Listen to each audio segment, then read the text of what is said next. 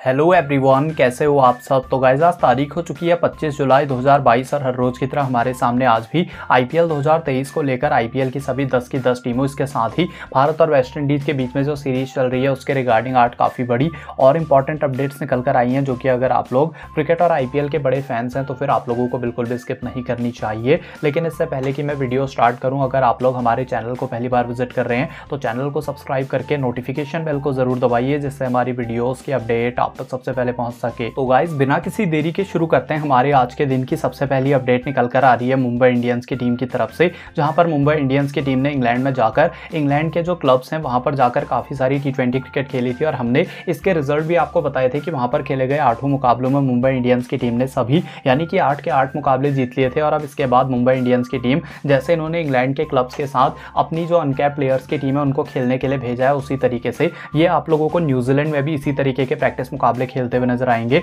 क्योंकि न्यूजीलैंड के club cricket जो है, वहाँ की क्रिकेटर्स की क्वालिटी भी काफ़ी अच्छी होती है, जिसके चलते अब ये न्यूजीलैंड में जाकर भी सेम तरीके की सीरीज़ आप लोगों को खेलते हुए देखने को मिलेंगे। लेकिन इसकी कंडीशन यही है कि मुंबई इंडियंस की टीम सिर्फ़ अपने अनकैप प्लेयर्स को ही वहाँ पर खेलने भेज रही है, क्योंकि जितने भी इनके इंटरनेशनल प्लेयर हैं, वो तो इंटरनेशनल क्रिकेट को खेलने में बिज़ी हैं। आगे बढ़ते हैं गाइज़ और बात करते हैं हमारी आज के दिन की दूसरी बड़ी अपडेट के बारे में। और गाइज़ ये एक बहुत ही बड़ा झटका लग चुका है बीसीसीआई को, क्योंकि आईपीएल के एक नहीं, दो नहीं, बल्कि तीन तीन स्पॉन्सर इनको छोड़कर जा चुके हैं। सबसे पहले तो आईपीएल का जो टाइटल स्पॉन्सर है पेटीएम उन्होंने बीसीसीआई को इस बार टाइटल स्पॉन्सर से हटने के लिए बोल दिया यानी कि उन्होंने क्लियर कर दिया है कि वो इस साल यानी कि आईपीएल 2023 में टाइटल स्पॉन्सर नहीं रहेंगे आईपीएल के। इसके बाद दो जो सेंट्रल कॉन्ट्रैक्ट वाले प्रमोशन वाले जो एक तरीके से आप एप्लीकेशन बोल सकते हो अपस्टॉक्स और उसके साथ ही अन अकेडमी दोनों ने ही आईपीएल को एप्लीकेशन डाल दी है कि ये भी आईपीएल 2023 से पहले पुल आउट करना चाहते हैं। तो बीसीसीआई को स्पॉन्सरशिप के हिसाब से झटका तो लग चुका है, लेकिन अब उम्मीद यही है कि जिस तरीके से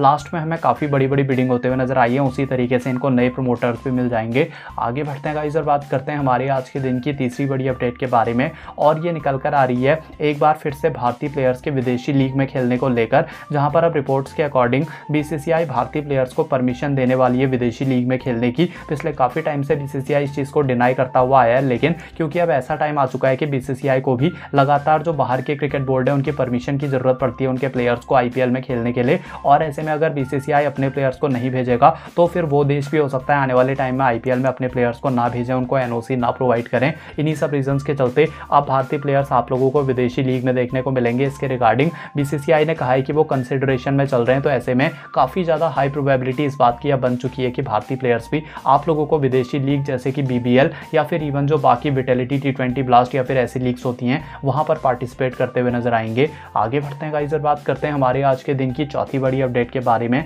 और गाइज़ ये निकल कर आ रही है आकाश चोपड़ा की तरफ़ से, जहाँ पर आकाश चोपड़ा, जो कि आईपीएल में हमें कमेंट्री करते हुए नज़र आते हैं, उन्होंने एक सजेशन दिया है बीसीसीआई और आईपीएल को। उन्होंने कहा है कि आईपीएल में इस बार से चार नहीं, बल्कि पाँच विदेशी प्लेयर्स को खिलाना चाहिए। आकाश चोपड़ा के अकॉर्डिंग जब सात प्लेयर्स इंडियन और चार प्लेयर्स फॉरन के होते थे, उस टाइम पर चार ही जो विदेशी प्लेयर हैं, वो इसीलिए खिलाए जाते थे, क्योंकि इंडियन प्रीमियर लीग है। और आठ टीमों में जो अट्ठासी प्लेयर होते थे, उसमें से हमें छप्पन भारतीय प्लेयर्स देखने को मिलते थे और उसके अलावा बत्तीस विदेशी प्लेयर लेकिन उनके अकॉर्डिंग क्योंकि अब टीम्स की संख्या आठ से बढ़कर दस हो चुकी है, जिसका मतलब है एक टीम में अगर छः भारतीय प्लेयर्स भी खेलेंगे तो भी सिक्स इंटू टेन यानी कि साठ भारतीय प्लेयर्स को मौका मिलेगा एक ही सीज़न में। यानी कि आप लोग छप्पन से साठ पर वैसे भी पहुँच रहे हो तो ऐसे में अगर फॉरन प्लेयर्स को आप एक टीम में चार से पाँच भी कर देंगे तो भी कोई बहुत ज़्यादा फ़र्क नहीं पड़ेगा और इससे इस जो लीग है, इसका रोमांच और भी ज़्यादा बढ़ जाएगा। कॉमेंट करके आप लोग बताइए कि आप लोगों के हिसाब से आईपीएल की एक टीम में चार विदेशी खिलाड़ियों को परमिशन मिलनी चाहिए या फिर पाँच? आगे बढ़ते हैं गाइज़ और बात करते हैं हमारे आज के दिन की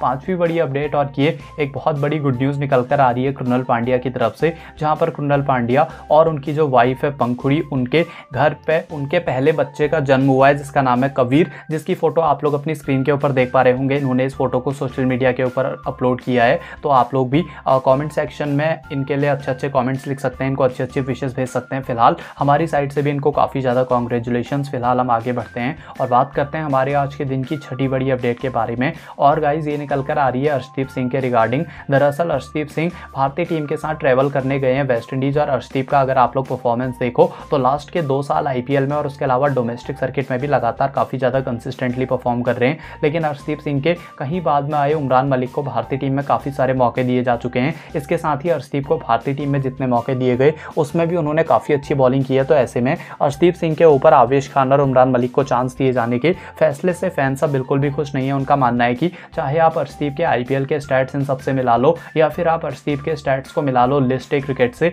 दोनों में ही अर्शदीप भारी पड़ते हुए नज़र आते हैं। खासकर अगर हम बात करें उमरान मलिक की तो अगर आवेश खान को आप छोड़ भी दो तो उमरान मलिक से पहले अर्शदीप सिंह को चांस दिया जाना चाहिए, और ऐसे में सभी लोगों का मानना है कि आने वाले टी ट्वेंटी वर्ल्ड कप में अर्शदीप सिंह बहुत ही इंपॉर्टेंट हो सकते हैं, क्योंकि भारत के पास वैसे भी कोई लेफ़्ट आर्म सीमर नहीं है, और ऐसे में कई सारी ऐसी टीमें होती हैं जिनके पास एक एक्स्ट्रा एज होता है जिनके पास लेफ़्ट आर्मर होता है तो उनके अकॉर्डिंग हरदीप सिंह ही करेंटली ऐसे बॉलर नज़र आ रहे हैं जो कि सबसे ज़्यादा भारतीय टीम में जगह डिजर्व करते हैं। अगर आप बात करो जसप्रीत बुमराह के बाद तो कमेंट सेक्शन में कमेंट करके आप लोग बताइए कि आप लोगों के हिसाब से अर्शदीप सिंह को आने वाली टी वर्ल्ड कप के लिए भारतीय टीम में जगह दी जानी चाहिए, या फिर आपको लगता है कि हर्षल पटेल या फिर मोहम्मद सिराज जैसे प्लेयर्स को वर्ल्ड कप में चांस मिलेगा? आगे बढ़ते हैं गाइस और बात करते हैं हमारे आज के दिन की सातवीं बड़ी अपडेट जो कि निकल कर आ रही है विमेंस आईपीएल के रिगार्डिंग और एक बार फिर से विमेंस आईपीएल हमें फंसता हुआ नज़र आ रहा है। हालाँकि बीसीसीआई ने प्रॉमिस तो किया था कि आईपीएल 2023 से हमें छह टीमों के साथ विमेंस आईपीएल स्टार्ट होते हुए देखने को मिलेगा। लेकिन यहाँ पर जो सबसे बड़ी दिक्कत है, वो है प्रमोटर्स की और उसके साथ ही व्यूअरशिप की। बीसीसीआई तो इसको कंडक्ट करवाना चाहता है, लेकिन मेंस आईपीएल के लिए जितने ज़्यादा प्रमोटर्स हैं या फिर जितनी ज़्यादा व्यूअरशिप आती है, उसका आधा भी बीसीसीआई एक्सपेक्ट नहीं कर रही है विमेंस आईपीएल से। आधा तो क्या, बल्कि वो one third even one fourth part को एक्सपेक्ट कर रहे हैं कि विमेंस आईपीएल में इतनी ही ऑडियंस हमें देखने को मिलेगी। तो ऐसे में अगर बीसीसीआई इसको ऑर्गेनाइज करवाता है तो उनको काफ़ी ज़्यादा उम्मीद है कि वो नुकसान में जा सकते हैं इसकी वजह से। तो इसके वजह से वापस से वो स्केप्टिकल हो चुके हैं इस डिसीज़न के बारे में कि उन्हें विमेंस आईपीएल को कंडक्ट करवाया जाना चाहिए या फिर नहीं। कॉमेंट सेक्शन में कॉमेंट करके आप लोग बताइए आपका क्या ओपिनियन है इसके बारे में। अगर विमेंस आईपीएल होता है तो क्या आप लोग विमेंस आईपीएल को देखेंगे? कि आपको लगता है कि इसकी व्यूअरशिप उसके आसपास भी आ पाएगी, जो कि मेंस आईपीएल के में देखने को मिलती है? आगे बढ़ते हैं गाइस और बात करते हैं हमारे आज के दिन की आठवीं और आखिरी अपडेट के बारे में। और ये निकल कर आ रही है संजू सैमसन की तरफ़ से, जहाँ पर हमने आपको बताया था कि पास्ट में किस तरीके से दो प्लेयर्स को एक तरीके से जो बाहर की के एफ़ सी मैक्स लीग होने वाली है टी ट्वेंटी उसमें दो भारतीय प्लेयर्स को शामिल किया गया था, मुकेश चौधरी और उनके साथ ही चेतन सकारिया